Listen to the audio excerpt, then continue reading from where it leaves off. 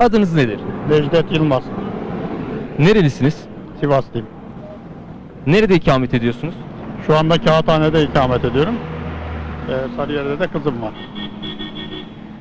En son ne amaçla ve ne zaman belediyeye gittiniz?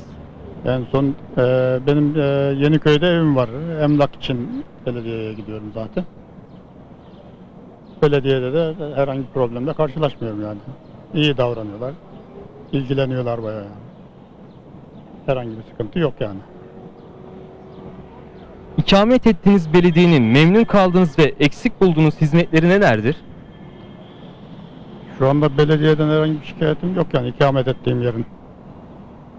Yani hizmetini dört dörtlük yapıyor. Eksik yanları da eee, mahalle aralarında park sorunu var. Otoparklar, eee, ne bileyim otomobilleri park edeceğimiz yerler. Bunlar en büyük sorunlarımız zaten. Hep beton yığını oldu her taraf. Yani bunlar da bizleri zor duruma sokuyor. Belediyenin en de büyük eksiklerinden birisi bunlar yani. Belediye başkanını tanıyor musunuz? Belediye başkanını sadece resimden tanıyoruz, başka türlü tanımıyoruz. Belediye TV aracıyla iletmek istediğiniz mesaj var mı belediye başkanına?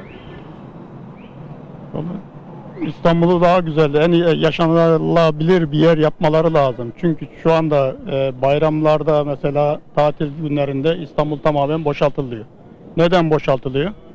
İnsanlar artık yani şehir hayatından bıkmaya başlıyor.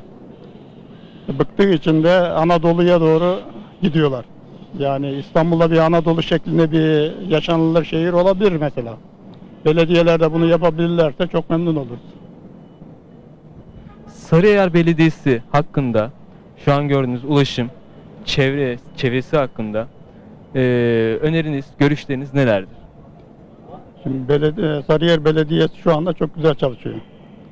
Herhangi bir yani belediye hakkında yanlış bir şey söyleyemem. Ulaşım olsun, ne bileyim çalışmalar olsun, halkla içe olması yani güzel bir şey.